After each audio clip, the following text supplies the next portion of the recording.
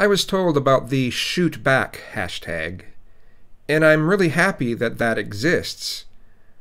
But the response in the gay community, let's say in San Francisco, hasn't been that great.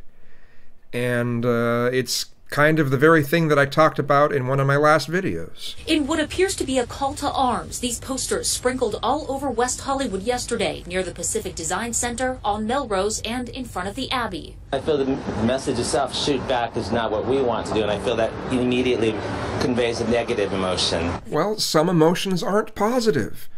When the community is attacked, the idea of defending themselves kind of seems like a good idea.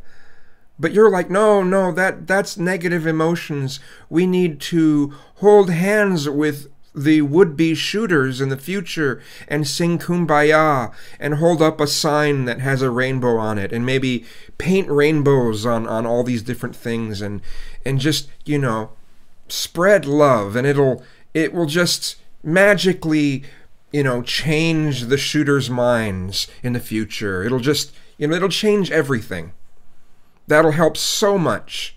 We can say that uh, hate is bad and bad people are bad and, uh, you know, say no to yes it's a message not being well received in the community. Gallery owner Ron Valdez took several down yesterday. That's not what it is about that. It's not about shooting back. It's about trying to uh, uplift people and making sure that you know they see the right thing and to do the right thing, understanding what happened in Orlando, but really taking it to heart, and saying how can we make a difference without shooting back. You can't. And that's the point people are trying to make. In other parts of the city, offended residents ripped off flyers they came across. I'm offended at the notion that people want to defend themselves. It's so hateful. Athena Weisenrich says the posters send a very negative message. Humanity deserves an opportunity to send love and receive love. What kind of love do you think that terrorists will be accepting to receive? When their goal is to kill gay people. And those kinds of posters will not bring that to, to, fruition. They are now going into a multicultural mode. Let's all join hands with the terrorists and sing Kumbaya. we'll be so happy.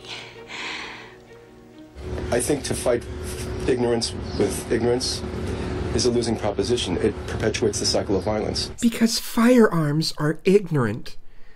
The desire to protect yourself shows your ignorance. Some say while they don't agree with the message the image conveys, whoever is behind them has the right to put them up. I don't know about you, but to me, that's just incredibly depressing.